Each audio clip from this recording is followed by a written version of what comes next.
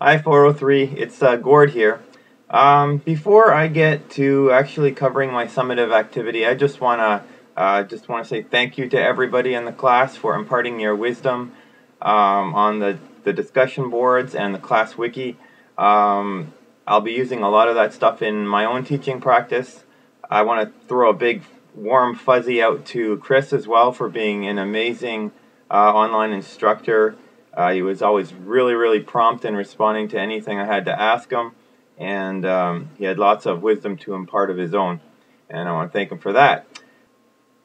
Yeah, so so I chose um, the TV video production unit since I'm probably more familiar with Adobe Premiere than I am with anything else right now.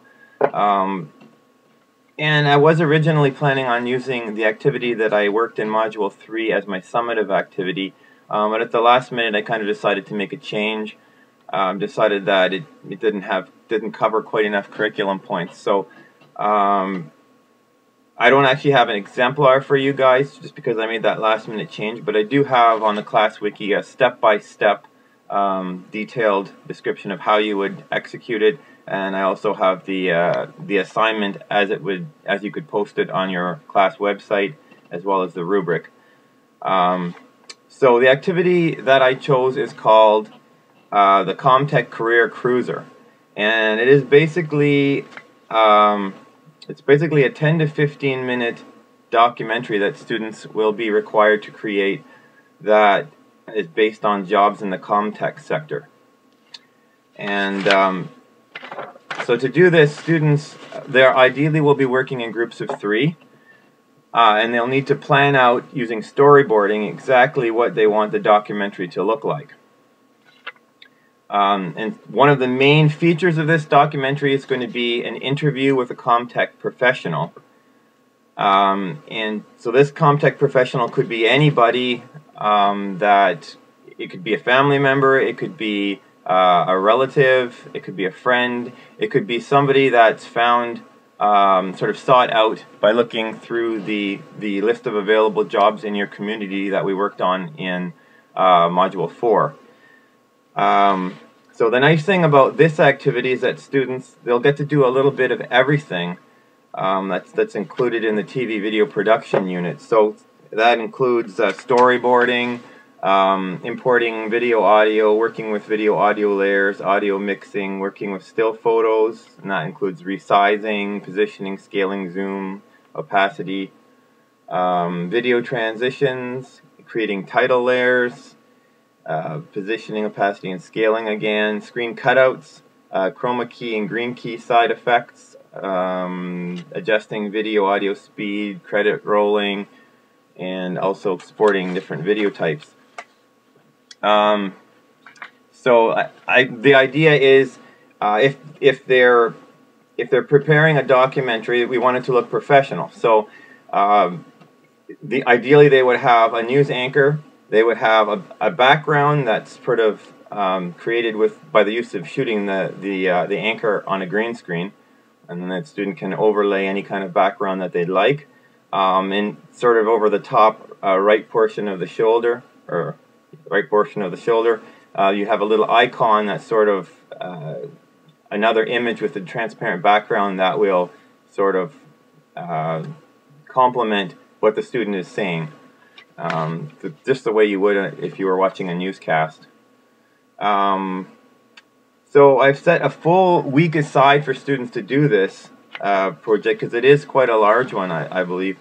Um, and because of the interview aspect of this this project, um, teachers are going to have to prepare the students well ahead of time um, to get their interview done and to get their interview scheduled.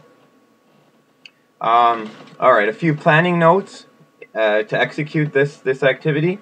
Uh, students are going to be expected to have uh, a quick interview with the teacher at the end of the first uh, day. Uh, again, I have five days set aside. The end of the first day would be sort of right after the uh, the brainstorming with the group, and then the already the beginning of the storyboarding. So just to make sure everyone's on the right track, there's going to be a quick exit interview. Um, after that, um, teacher's going to have to make sure that there's lots and lots of computers available that are that is loaded with Adobe Premiere. Um, lots of cameras are going to have to be available, and that includes uh, cameras in the classroom as well as cameras to use for the interview. Um, also, miking is important for the interview, so that's something that they will have learned, and uh, they may need an external mic for their for their cameras. Um, and I guess finally, for planning notes, I think that it would be wise to, to keep the to keep the uh, the due date for this activity fairly flexible because there is um, there's interviews that need to take place and those have to kind of be scheduled. There is uh, the, the student group interview as well as the professional interview and then there's the green room scheduling. So all that put together, get fitting it in one one week and then setting a hard deadline on a Friday is probably not not going to work for everybody. Um, okay, expectations. In terms of expectations, um, this is one of the main reasons why I switched to this activity was just because it pulls in um, the Section D expectations, which is the professional practice and career opportunities. So the activity hits virtually all of the points in Section uh, D2. Um, identify career opportunities, demonstrate the essential skills that are important for successful CommTech, uh, develop pieces of work to demonstrate CommTech skills, etc., etc., etc. it also hits uh, section C a little bit, which is technology, the environment, and society, um, because students will be identifying some emerging technologies as they're working their documentary and trying to uh, trying to sort of sort out what it's all about and how uh, prevalent jobs are in that that sector. Um, and of course, it's going to hit many many points on uh, parts A and C which is the fundamentals and the skills sections um, as they go through all the stuff that you can do with Adobe Premiere. Uh, accommodations for this assignment. Um, this assignment uh, is gonna is going to be a fairly flexible assignment. Um, so obviously it's going to be completely open book. Students will be able to use the internet um, to look for tutorials on how to do stuff in Premiere. Um, they'll be able to use their any of their notes, any of their past programs, um, so they, they, they won't be they won't just sit there and be stuck. Um, again, the due date should be fairly flexible for this um, for this activity um, because because so much stuff has to be scheduled. The green room, the uh, the teacher group interview, and the uh, the professional interview. Um, and again, it, because it's group work, it's going to allow students within the group to work to their strengths. So they will have the ability to decide amongst themselves what they are best at, and uh, hopefully everybody can find something that they're comfortable doing. And it also sort of spreads out the work and, and makes the whole project feel less overwhelming. And uh, so that's about all I have to say for the activity. There's lots more details on the website. And um, again, thanks thanks for a, a great course, and uh, everyone take care. This is Gord signing out.